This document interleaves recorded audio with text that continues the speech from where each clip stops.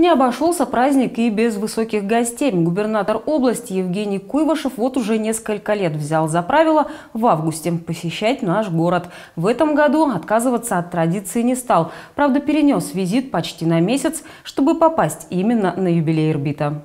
График рабочего визита губернатора в Ирбит был очень плотный, тем не менее сумел вместить все важное. И осмотр результатов уже реализованных в городе проектов, и совещание по принципиальному для нашего муниципалитета вопросу, и даже участие в юбилейных мероприятиях. Однако с началом общения с жителями. Ведь только они могут рассказать о том, как в действительности живет город. Не обошлось без слов благодарности с одной стороны и острых вопросов с другой. Я хотела бы еще к вам обратиться с вопросом по поликлинике нашей.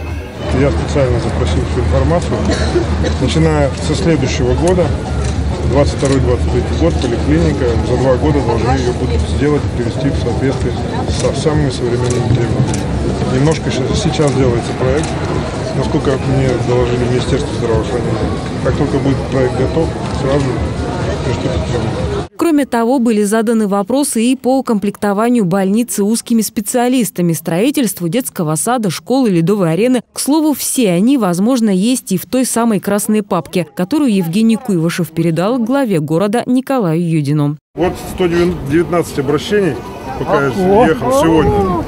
Значит, э, в Инстаграм я вот главе. Значит, что касается наших полномочий, я вот своим дал э, поручение разработать дорожные карты по реализации. Здесь по, значит, по всем обращениям выработать дорожную карту по исполнению и потом ко мне на, на аудиенцию для принятия решений. Ну а дальше в программе значилось посещение Дворца культуры имени Костевича. Именно по поручению губернатора городу были выделены средства на первые два этапа ремонта здесь. И вот пришло время представить результат проведенной работы. Хотя в Ирбите достаточно и тех объектов, на которых ремонты только начинаются. Например, драмтеатр. Его губернатор тоже посетил.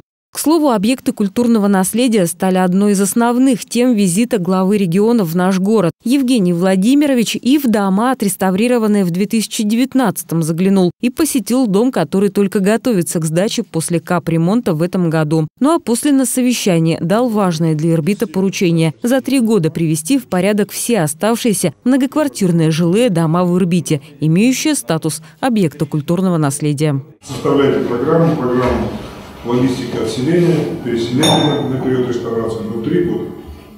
За три года мы с вами договаривались, тогда, вернее, договорились, что мы будем по 5 по 6 делать.